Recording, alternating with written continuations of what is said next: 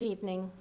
Shel Arminio, 9 Nathaniel Street. Um, Monday, uh, you had a finance meeting that was a half-hour meeting, I believe.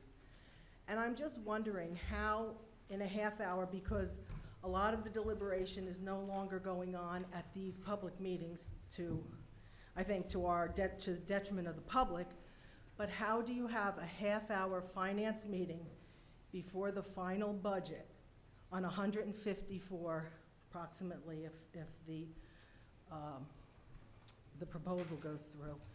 How do you do that in a half hour for the people of this community with a $150 million operating budget? Ms. Arminio, the budget that we sent to the county was adopted by the Board of Education on March 6th. That's correct. There were no changes discussed at the meeting by the board members or requested. That budget was sent to the county. The county did not send back any changes, correct, Ms. Allen? Correct. There were no changes to the budget. So the budget was as, the budget that we have tonight, we're voting on the final budget, has not changed at all since it's been presented to us And- previously. And the presentations, d- you know, d- didn't go into enormous detail, so I, s- my- I maintain my question that all, th- from the, from the beginning of the presentation of the first budget until tonight, I think a lot of detail could have been uh, uh, exposed to the, to the, the public. You're, again, you're asking us to go over cap, you're doing, we, a half hour, on, a- again, on a hundred and fifty-four million dollar budget isn't enough, even if it stayed the same. You could have gone over, uh, in more detail, some of the important aspects of the budget.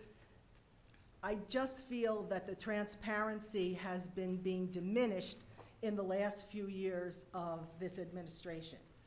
It should have been like a three-hour, you know, $154 million that you're asking the community to, to uh, pay, which most of us want our educational system to be top grade.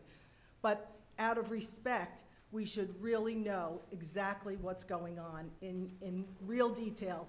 And I maintain that 150, uh, uh, that 30 minutes of I don't know how well budget discussion went. I, I actually didn't understand um, the timing, and I got here at seven. I think it was over by seven.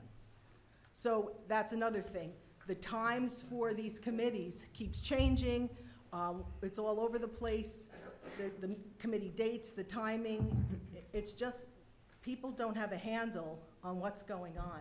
And I think you're asking a lot of this community and not giving us enough information.